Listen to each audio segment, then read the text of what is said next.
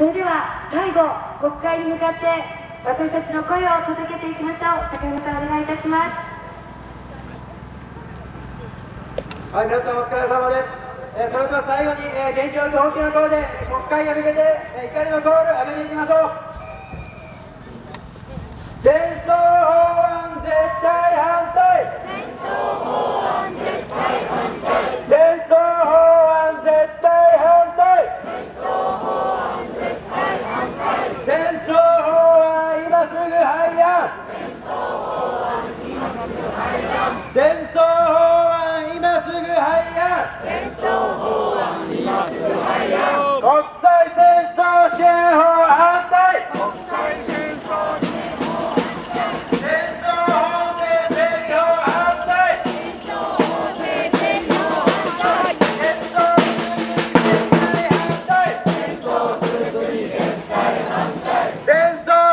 争する国絶対反対戦争する国絶対反対。戦争反対。戦争反対。救助を守れ。救助を守れ。戦争反対。戦争反対。救助を守れ。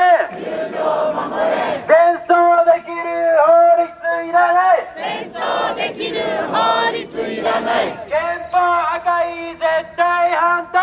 憲法破壊絶対反対強行採決絶対やめろ強行採決絶対やめろ。強行採決絶対やめろ強行採決絶対やめろ。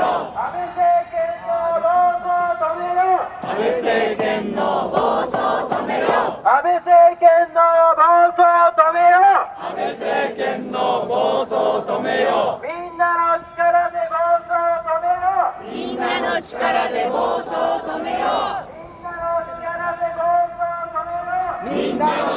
で暴走止めよう。8.30成功させよう。8.30成功させよう。安倍政権は直ちに退陣。安倍政権は直ちに退陣。安倍政権は直ちに退陣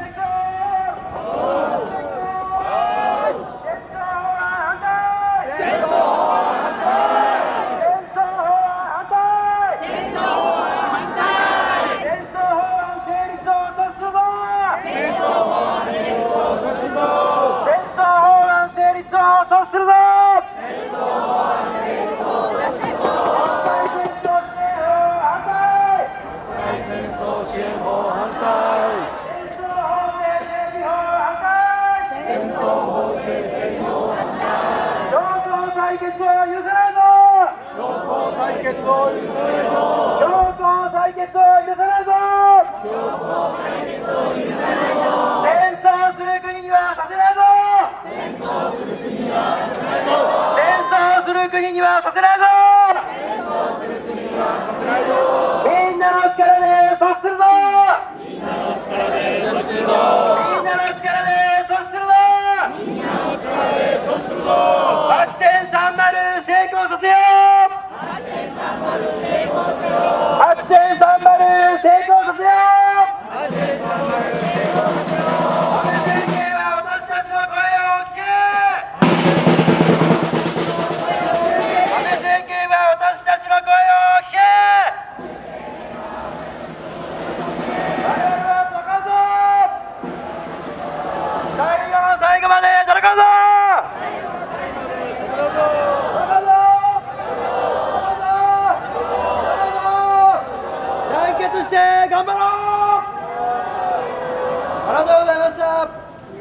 ありがとうございました。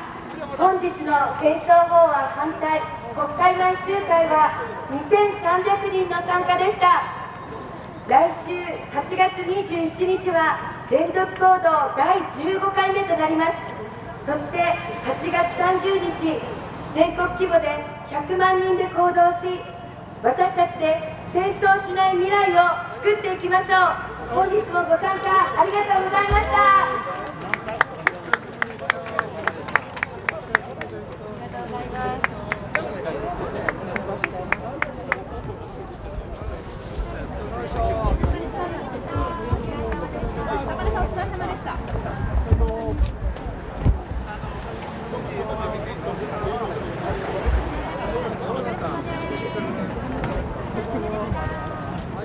はい、すいません、あれ、もっと早く流さなきゃいけない。慣れちゃいました。